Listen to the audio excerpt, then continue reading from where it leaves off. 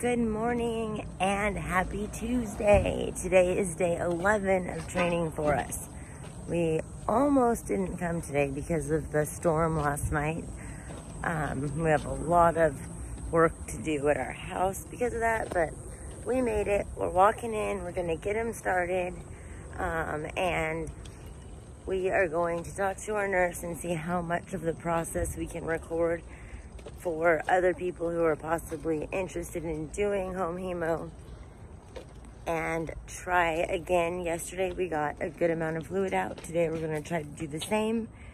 And I am walking in, so I will update soon.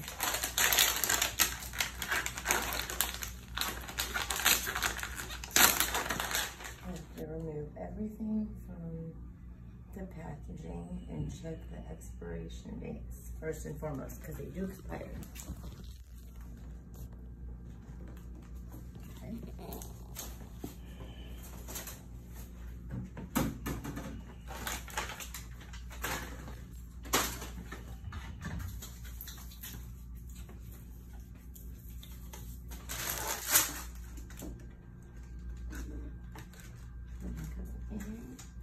It's going to have three square airlines.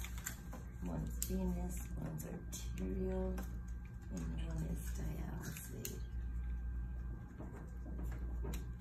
Once those are in, make sure nothing's touching.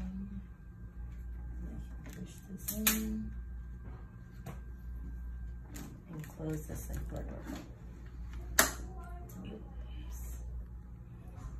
Got two yellow lights.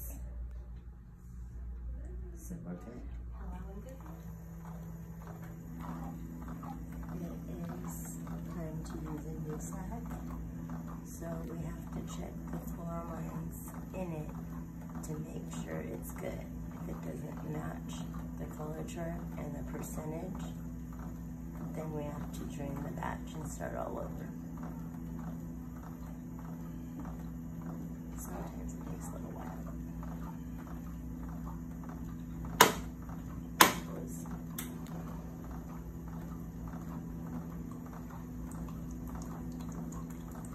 And this is a sterile connection, so it cannot touch the cup. And it cannot touch the end of it.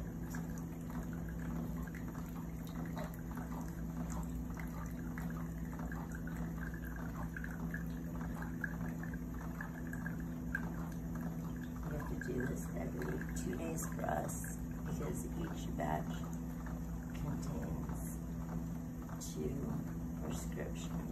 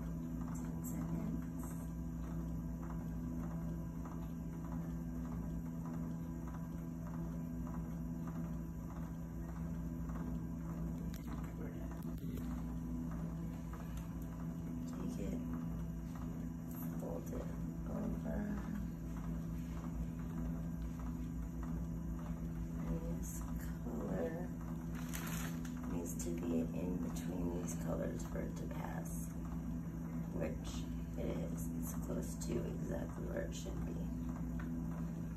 So I can tell the machine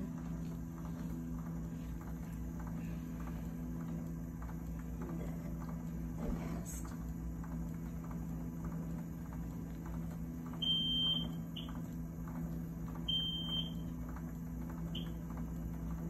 Alright, machine knows I passed.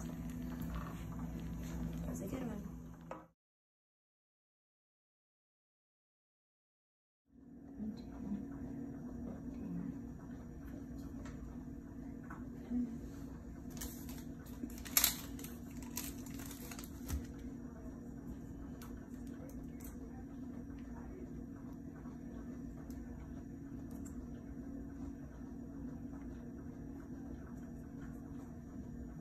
It's in the bottle.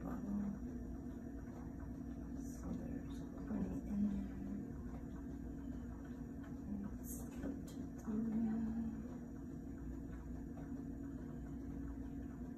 I see bubbles, I push out and pull back a little more.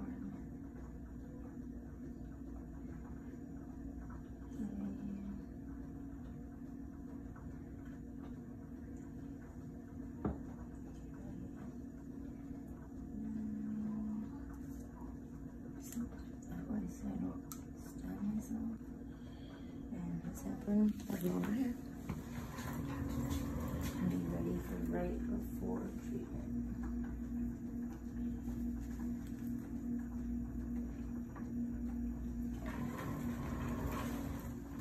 Now I gotta find a marker and mark that bottle. And mark the bottle with the day you open it and 30 days later because that's when it expires. Okay, since I connected all of Casey's lines today, literally everything from the machine to him, now what I'm doing is using this setup and I want to make sure that I have my hand work and my finger work 100% by the end of today. So tomorrow when I hook him up, I have no problems at all. I'll let you know how it goes. Hey guys, okay, so he only has about 40 minutes left. I have to check the machine to be exact. Let's see here.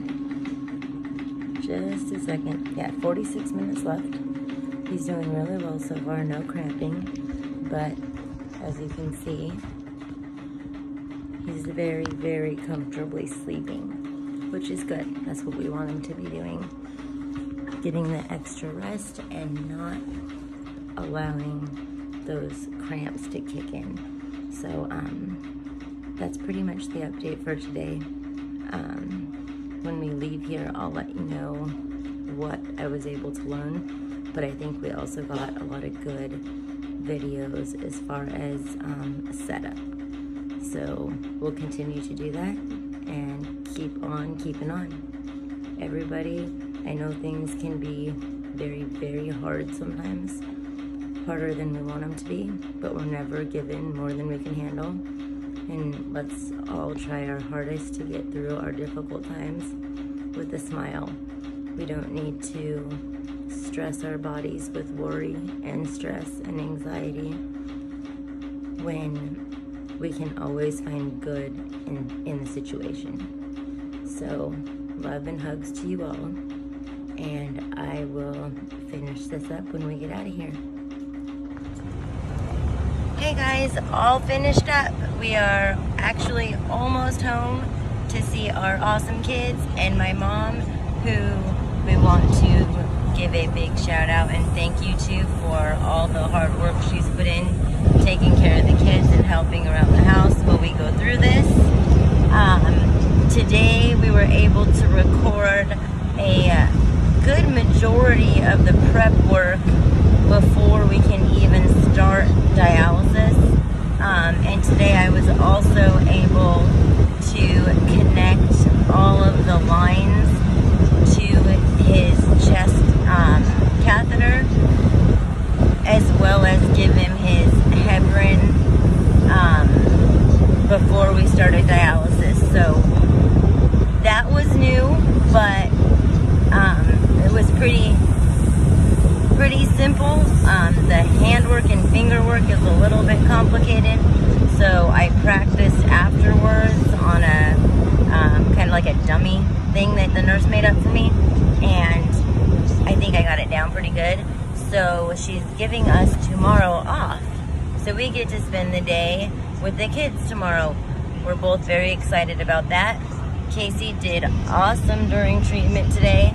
We were again able to pull the full one kilogram of fluid. When we left there, he was not swollen at all. And um, she listened to his lungs and the fluid that was in his lungs when we started dialysis is no longer in his lungs. So that's really good news. Um, we want to, we're hoping that since we have one day off, that fluid stays off as well. We'll see how that goes over today and tomorrow.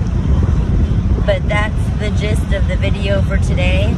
And again, for anyone who is thinking about home hemodialysis, from our personal experience, just in training, I can tell you that it takes us approximately 45 minutes to an hour and 15 minutes to prep and actually hit the start button to get it started. Once it's started, it's another two and a half hours. Once that completes, the rinse back process and heparin in his lines takes about 10 minutes and the cleanup process takes about 30 minutes. So you're still looking at a total of about four hours, but the goal of all of this is that you're doing it in the comfort of your home. So that was today, and I'm looking forward to Thursday and Friday, hoping to get all that handwork and finger work I was telling you about accomplished, and hoping that the swelling stays down on Casey and his blood pressure stays down. It's not normal yet, but it is down a bit. All right, that's all till Thursday. Bye, guys.